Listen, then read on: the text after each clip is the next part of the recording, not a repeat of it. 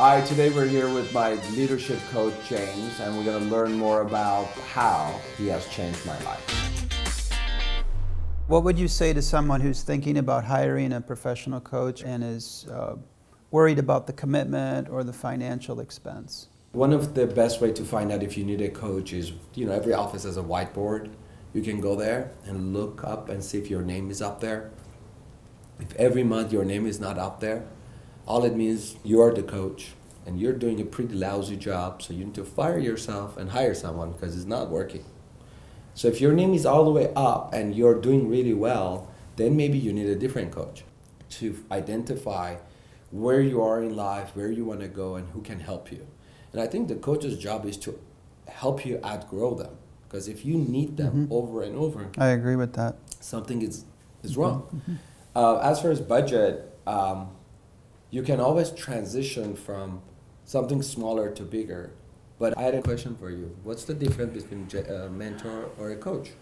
Uh, I think in my mind, when I think about the two, uh, the coach has a duty to truly help the other person as much as they can. It's almost like a fiduciary duty. Uh, I think a mentor is some more of a peer-to-peer kind of gentle advice. Hey, can I bounce an idea off you?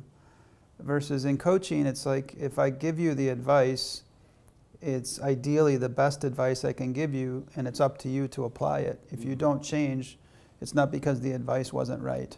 Yeah, I, I think coach has three important things. One is has to believe in you. Two has to hold you accountable to what you say you're going to do. And three, to make you focus on the things it matters. So I don't think the mentor who you ask them for a lunch or a meeting will spend the time to go through that process. But the coach is aware of what you were supposed to do two weeks ago and did you do it? Like when we talk, I'm like, oh my God, he's gonna ask me about that. And did I do it? Did I find the right person? So if a mentor, I w- I don't think he will ask all those questions. Yeah, the good, a good coach will tell you the kind but difficult truth. One of the things that really helps me as a coach is, you know, to grow is to get feedback from a client. And so my question to you would be, what can I do to help you more? I honestly think um, you have changed my life so much that I don't know if I don't have you holding me accountable, talking to me, making sure that I'm expanding my thinking, I don't know what I would do because I might go back to where my comfort zone is. Well, I think the key thing is, you know, in a coaching, when I work with somebody, I never think about kind of being there forever, and I don't coach in that way. I'm trying to give them principles so they're like a freestanding, free person that can go and do it on their own. Mm-hmm. It's like a wheel that once it starts spinning, it just needs a light touch. Mm-hmm. Um, versus in the beginning it's you know pushing the wheel and getting it going it takes more time it takes more energy it's more expensive mm-hmm. but down the road the relationship should evolve and it should be more simple and more straightforward. And it's almost like a diagnostic. It's like hey how are you doing? What's going on? Where are you where are you getting stuck? And then we go back to things that we've worked on right? Yeah i think i think something that you have is you because you work with a lot of people out there that they do whatever they do in a high level. I want to make sure that I have access to that through you. It's like, what do you see that lady who had a big business, who's made a business decision to purchase the second business?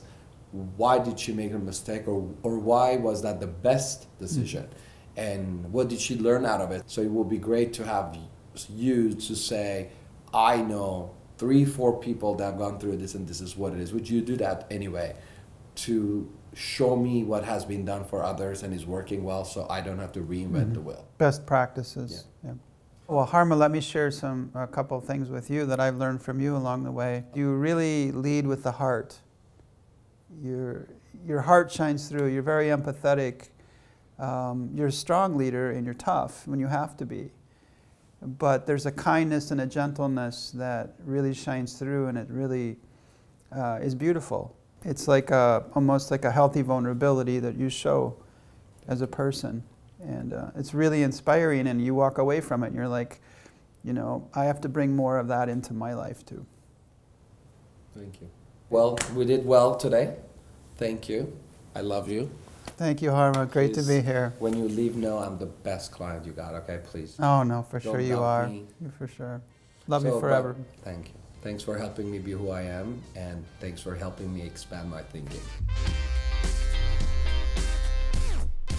Let's make sure that he's, your name is not anywhere in this video, because I don't want them to know who you are. They're my secret them.